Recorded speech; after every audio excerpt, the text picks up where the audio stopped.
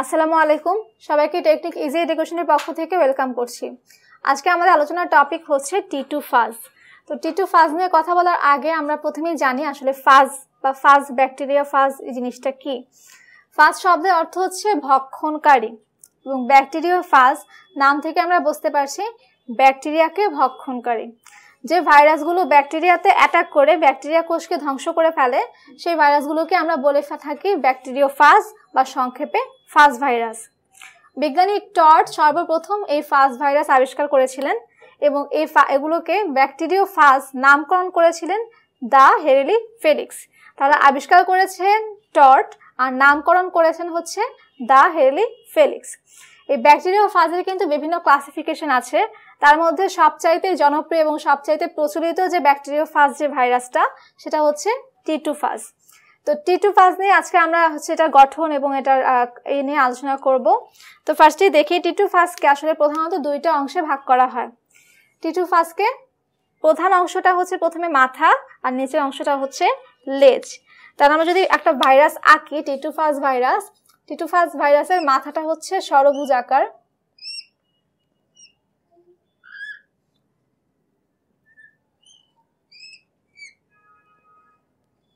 তারপর নিচে থাকে একটা লেজ। লেজের নিচ থেকে একটা বেস প্লেট বের হয়। বেস প্লেটের থেকে কিছু স্পাইক বের হয়। স্পাইক বা কাটার মতন অংশ এবং চারপাশ থেকে বের হয় স্পর্শক তন্তু।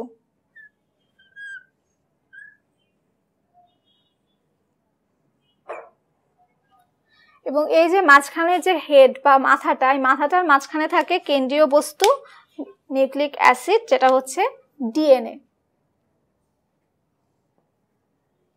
তাহলে টি টু ফার্স্ট ব্যাকটেরিয়া বা ভাইরাসটা হচ্ছে এক ধরনের ডিএনএ ভাইরাস হবে। তো আমরা যদি বর্ণনা পড়ি, প্রথমে আমরা পড়ব কি মাথা নিয়ে। তাহলে এই অংশটুকু এই অংশটুকু হচ্ছে ভাইরাসের মাথা।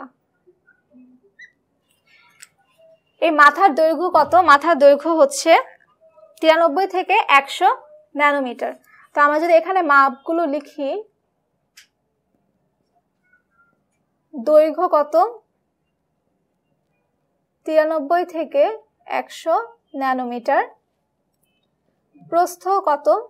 প্রস্থ হচ্ছে পঁয়ষট্টি ন্যানোমিটার। এবং এটা শেপ কেমন হবে দেখতেই পাচ্ছি, আমরা একটা সরবুজ আকার শেপ বা প্রিজমের মতন শেপ থাকে। চারপাশে থাকে প্রোটিন আবরণ, মাঝখানে থাকে কেন্দ্রীয় বস্তু বা নিউক্লিক অ্যাসিড। এই নিউক্লিক অ্যাসিড হিসেবে আমরা জানি কোর বস্তু হিসেবে থাকবে ডিএনএ এবং এটা হচ্ছে একটা ডিএনএ ভাইরাস। তাহলে ডিএনএ থাকে মাথায়। এই ডিএনএতে যে নিউক্লিওটাইডের সংখ্যা, সে সংখ্যা হবে হচ্ছে ষাট হাজার। তাহলে ষাট হাজার নিউক্লিওটাইড থাকে এবং ডিএনএতে জিন সংখ্যা হচ্ছে দেড়শো। দেড়শোটি জিন থাকবে। তাহলে আবার বলি, এই মাথাটুকুর দৈর্ঘ্য কত? দৈর্ঘ্য হচ্ছে ninety three two hundred nanometre. প্রস্থ হবে সিক্সটি ফাইভ ন্যানোমিটার। মাঝখানে থাকবে ডিএনএ ডিএনএতে নিউক্লিওটাইডের সংখ্যা ষাট হাজার এবং জিন সংখ্যা দেড়শোটি। এই সম্পূর্ণ মাথার মধ্যে ফিফটি পার্সেন্ট ওজন হচ্ছে প্রোটিনের আর ফিফটি পার্সেন্ট ওজন হবে হচ্ছে এই ডিএনএ অংশটুকু। তো মাথার বর্ণনা যদি আমাদের শেষ হয়ে যায়, নিচের দিকে আমরা দেখি। নিচে এখানে রয়েছে একটা লেজ। লেজের উপরের দিকে আসলে একটা কলার থাকে। এটা হচ্ছে এই ভাইরাসের কলার। তাহলে এই সম্পূর্ণ অংশটা হচ্ছে ভাইরাসের লেজ। আর এটাকে সিঙ্গেল ক্লাস ইয়ে করলে লেভেলিং করলে এটা হচ্ছে কলার। এটাকে বলা হয় হচ্ছে স্পর্শক তন্তু। আর নিচের এই কাটার মতন অংশগুলোকে বলা হয় স্পাইক। আর এটাকে আমরা সিম্পলি বলতে পারি, এটা হচ্ছে লেজ।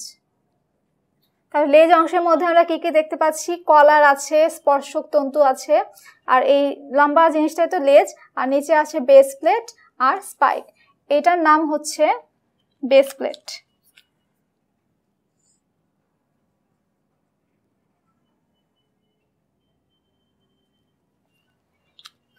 এই যে লেজটা রয়েছে, এই লেজের দৈর্ঘ্য কত? Ninety five two hundred nanometre. তো আমরা উপরে যদি লেজের ইনফরমেশনগুলো লিখি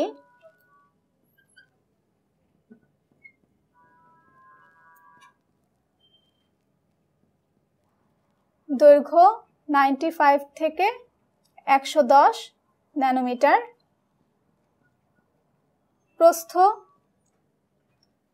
পনেরো থেকে বিশ ন্যানোমিটার।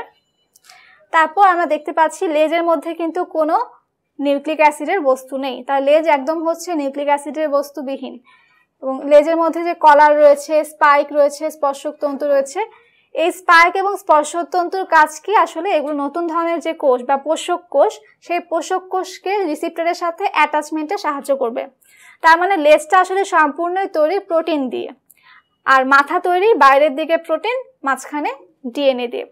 যদিও আমরা জানি যে ভাইরাসে কোনো ধরনের বিপাকীয় এনজাইম থাকে না, কারণ ভাইরাস অকোষীয়, কিন্তু এই টিটু ভাইরাসের লেজে এক ধরনের এনজাইম থাকে, যাকে বলা হয় লাইসোজাইম তাহলে এনজাইমটার নাম হচ্ছে লাইসোজাইম।